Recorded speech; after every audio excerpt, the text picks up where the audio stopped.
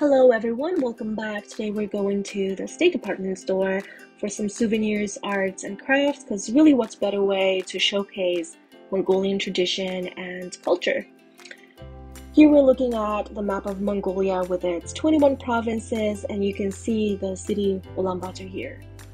There's a lot of cool sculptures of Mongolian warriors on their horses and of course Chinggis Khan and sculptures of the worship of Great Mongolian army from the 13th century.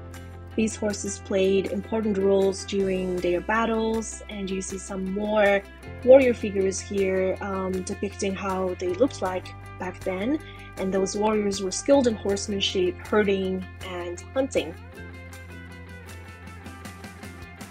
As you can see, there are two humped camels or Bactrian camels and caravans used as transportation and swords, knives, and handmade crafts, also Mongolian instrument called horsehead fiddle.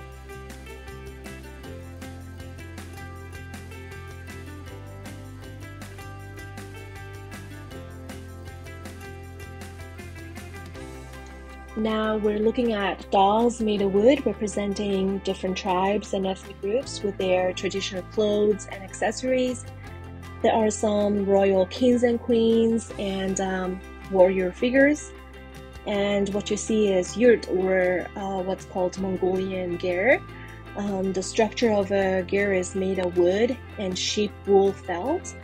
And if you look inside of the ger, you, there's usually the stove in the middle, um, chest, table, and a bed.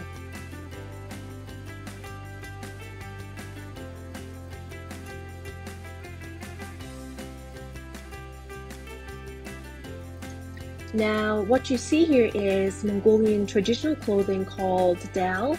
Its design varies depending on their ethnic groups and their cultures. This one is Kazakh ethnic group clothing and accessories. And, um, you know, some more hair headwear and hats and more of the Kazakh patterns and really pretty designs there.